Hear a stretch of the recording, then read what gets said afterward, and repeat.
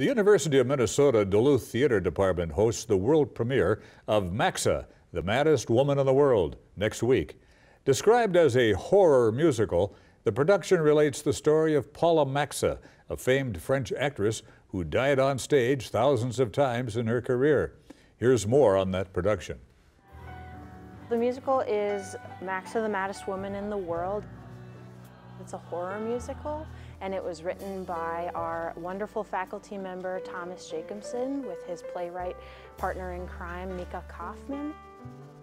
And it's about Paula Maxa, who was a great French actress in the early 1900s. She worked at the Grand Guignol, which was a theater of horror and torture. And essentially, she's the actress who has died the most times on stage.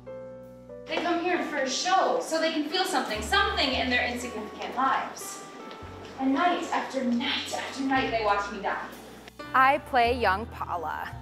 I'm a student here and I'm a senior BFA acting major. Oh, her life literally led her to this stage and she used every traumatic event, every experience in her life to mold her as that amazing actress. A lot of the themes is surviving forgiveness, trusting in yourself, and not letting that anger, possibly even hatred towards yourself, stop you from growing as a person. I am the stage manager for Maxa.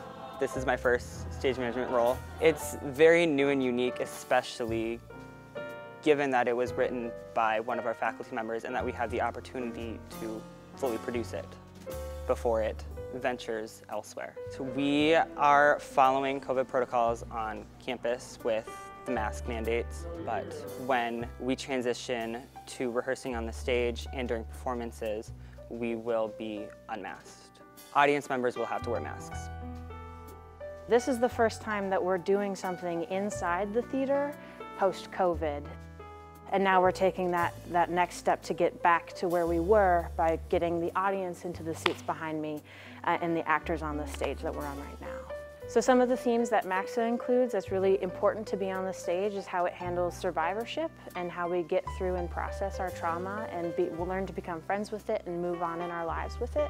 Well, especially in 2021, a lot of these things are coming up of the Me Too movement and just being able to speak about these events that go on, such as sexual assault and abuse. It's ultimately a show about surviving and persevering and still being here. Everyone who's acting in it is a student here at UMD. There's quite a few students who are student designers. Personally, like just being in the room, in a rehearsal room, and it's my favorite part of being a director is to just be in the space when other people are doing what they're you know most gifted at. And so when we invite audiences into here to listen to a story, uh, to watch a story for the first time in a long time with other people, I think it'll mean a lot. Joining us now are the creators of the musical. Mika Kaufman wrote the book and the lyrics of Maxa, and Thomas Jacobson is the composer of the music. And welcome to both of you. Thank you very much for being here. Uh, Mika, we'll start with you. What was your inspiration for this production? How did you come up with the idea? Oh my goodness, it's actually this one that came up with the idea. uh, Thomas uh, had presented it to me. Do you want to? Do you want to? Sure. Yeah, I.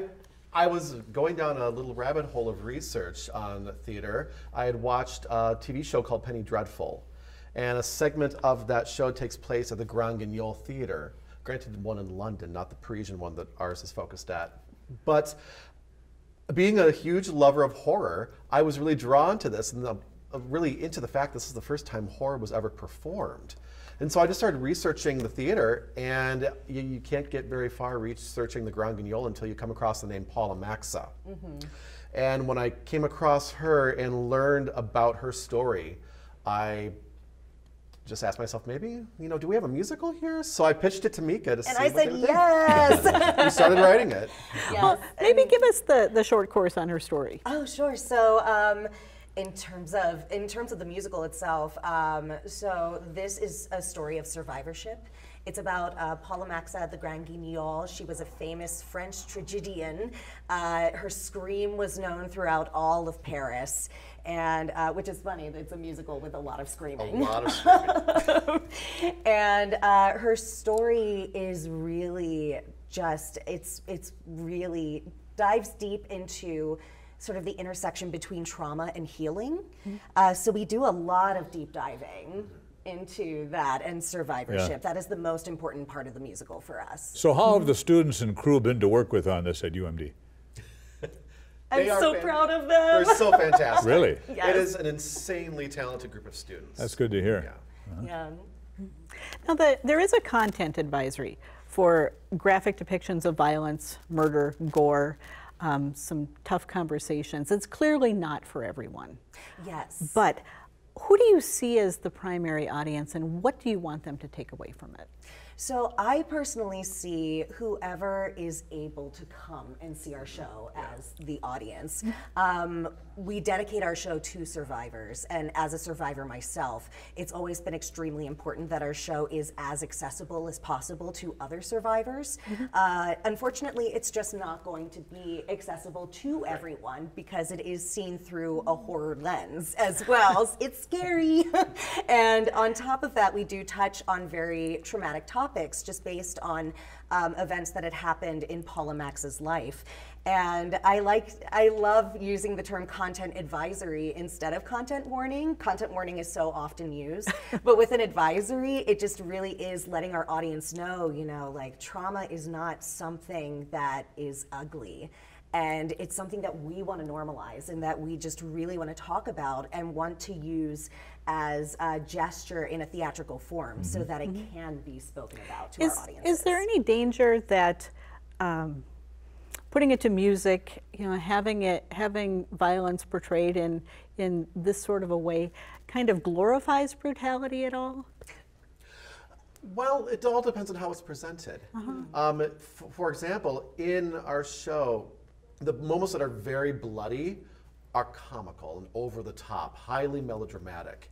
The moments that deal with these issues are we treat as respectfully as possible, and they are not shown, and they are not gratuitous.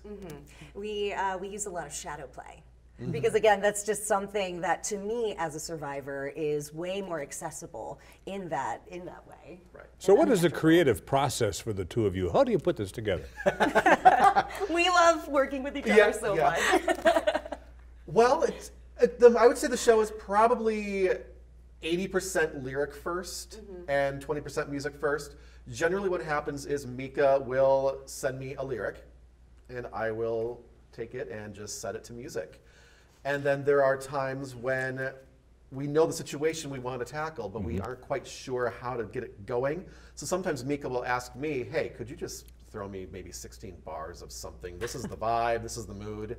And yeah, I'll throw 16 bars their way, and then that like kind of sparks a lyric. And then we just, it just rolls from there. and we really work off of each other's energy as well. Yes. Like we know we have something good going when we're like, yes, yes, Yes. yes. And we're both, we both have similar backgrounds as directors Sure. and performers our- and singers ourselves. So I feel like that really helps our process. And the two of you bring energy. I can see that right now to the production. Um, what do you mean? So, are, are you finding that the, the actors uh, and crew people are also absorbing some of that energy? we hope. We hope so. I can see it. I can Yeah. really see it. Um, our room is very special. It is very, very special, especially given the content that we are talking about with these students, and that they they're the ones who are performing, uh, and they are handling it so well because we normalize these conversations around mental Right. health and around trauma. Yeah. And we, we give them the, they know that they have the autonomy to come to us with questions, to come with us, come to us with concerns mm-hmm. and ideas. And they are truly, they're not just actors, they're truly collaborators. I need a the quick process. answer. When and where are tickets available, and when's the show? They are available at the UMD box office and it opens next Thursday, the 14th, and runs to the 23rd. Okay, very fine. Thank you both for being All here right. tonight. Thank Thank you right, very much. All right, Mika Thank and you. Thomas, thank you much.